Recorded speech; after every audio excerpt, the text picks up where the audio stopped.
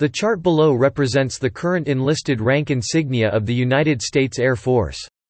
While all Air Force military personnel are referred to as airmen, it can specifically refer to the pay grades of E1 through E4 which are below the level of noncommissioned officers NCOs. Above the pay grade of E4 E5 through E9 all ranks fall into the category of NCO and are further subdivided into NCOs E5 and E6 and senior NCOs E7 through E9. The term junior NCO is sometimes used to refer to staff sergeants and technical sergeants E5 and E6. The Air Force is the only one of the five branches of the United States military where NCO status is now only achieved at the grade of E5. Formerly, the grade of sergeant was obtained after a time as a senior airman and successful completion of the Air Force NCO school. In all other branches, NCO status can be achieved at the grade of E4 a corporal in the Army and Marine Corps, petty officer 3rd class in the Navy and Coast Guard. However, E-4s in the Army with the rank of specialist are not NCOs. The Air Force mirrored the Army from 1976 to 2 May 1991 with an E-4 being either a senior airman wearing three stripes without a star or a sergeant informally referred to as Buck Sergeant which was noted by the presence of the central star and considered an NCO. Despite not being an NCO, a senior airman who has completed Airman Leadership School can be a supervisor.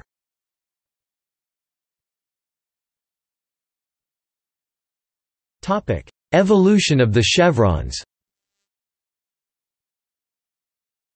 Although the Air Force became an independent service with the National Security Act of 1947, it retained the Army Air Force rank structure and corresponding insignia of years past.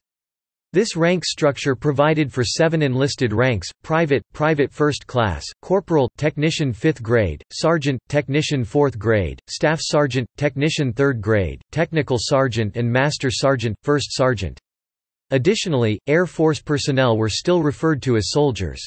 During the Second World War, many USAAF NCOs wore the Army Air Corps branch insignia of the winged propeller underneath their chevrons. Changes to the rank structure were proposed almost immediately but did not start occurring until the next year.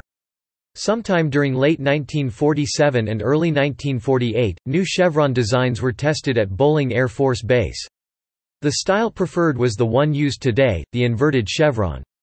Air Force Chief of Staff General Hoyt Vandenberg approved the new chevron on 9 March 1948. A new Air Force Uxbridge blue uniform and black leather replaced the U.S. Army Air Corps olive drab uniform and russet leather in 1949. Air Force personnel were allowed to wear their old Army World War II pattern uniforms and rank insignia until July, 1952. Recolored hash marks and overseas service bars were worn on the uniform until 1957. Although the new chevrons were approved, the titles did not change. Two years would pass February 1950 before General Vandenberg ordered all enlisted personnel in the Air Force be referred to as airmen singular and airman plural rather than soldier. A further two years would go by while the enlisted rank structure was studied and changes proposed. The end results finally became effective on 24 April 1952 with the release of a revised Air Force Regulation AFR 39 -36.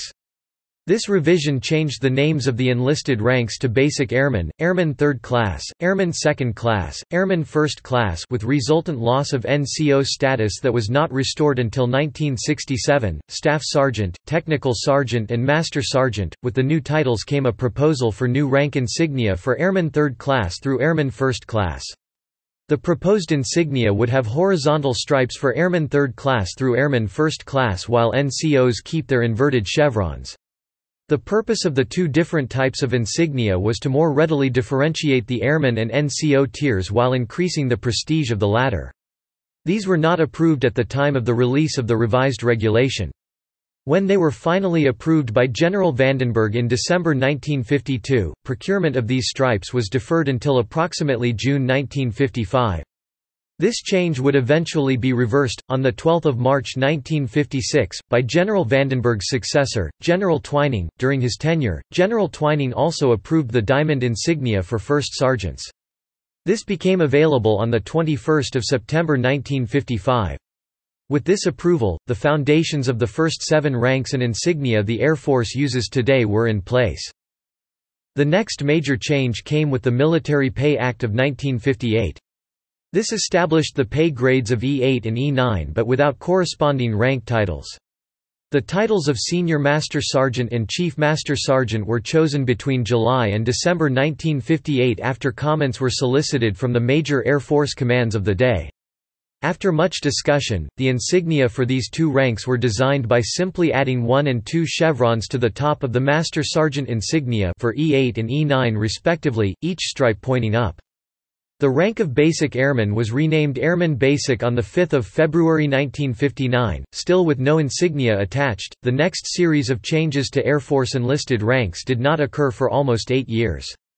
In January 1967 the position of Chief Master Sergeant of the Air Force was created. This position gained its own special insignia, the Chief Master Sergeant chevrons with a wreath encircling the center star. On 1 August 1967 the lower enlisted rank names changed revised AFR 39-36 on 19 October 1967 renamed Airman 3rd Class, Airman 2nd Class and Airman 1st Class to Airman, Airman 1st Class and Sergeant known unofficially as Buck Sergeant by the NCO ranks at the time respectively. This returned sergeant to the rank structure as the first step in the NCO tier as a retention move but required achievement of a 5-skill Air Force Specialty Code level. No changes to the respective insignias were made. Footnote, on 1 July 1969 the Air Force serial number was changed to the Member's Social Security Number SSAN. This change was for all grades and the three major U.S. military forces including Guard and Reserve components. The Commandant of the USMC did not adopt the serial number change to his forces. In a 30 December 1975 directive the grade of sergeant was split into two separate ranks while retaining the grade of E4. Senior airman would be the last junior enlisted tier rank while sergeant would remain the first rank in the NCO tier. The impetus behind this was to laterally promote senior E4 airmen who were ready for NCO responsibilities but not prepared to take on the role of a staff sergeant. This permitted airmen who had not yet reached the AFSC 5 skill level to achieve the pay grade of E4, while according those who had NCO status. To differentiate the two ranks, the directive changed the silver star in the center of airmen, airmen first class and senior airmen changed to blue while the star on sergeant chevrons remained silver. Having two ranks within one grade mirrored the Army's specialist, corporal division of E4. This dual role would last until March 1991 when then Chief of Staff General McPeak terminated the rank of sergeant effective 2 May 1991. This termination was due in part to the manning reductions that occurred in the post-Cold War drawdowns of the early 1990s.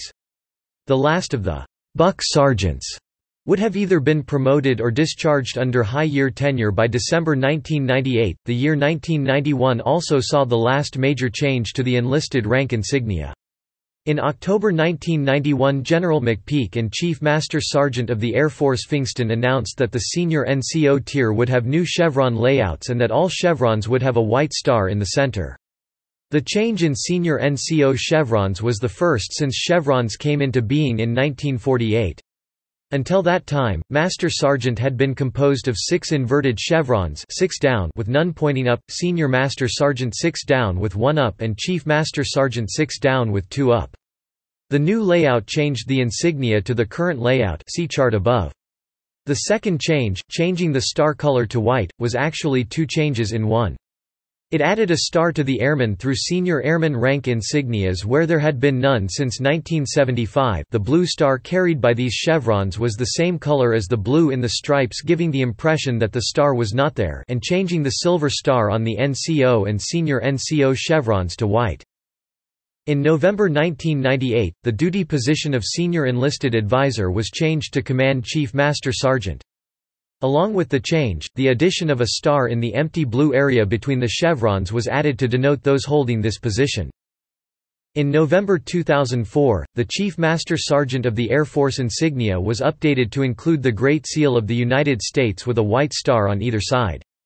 These additions were placed in the empty blue area between the chevrons.